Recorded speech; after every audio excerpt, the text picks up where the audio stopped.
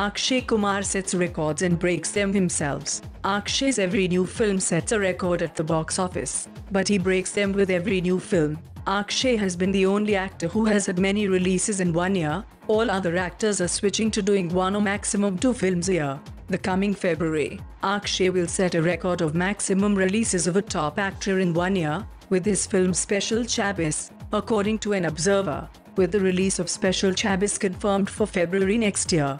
Akshay would now have 6 releases in 10 months. This is a new record and no other superstar has come even close to such feat during last one decade at least.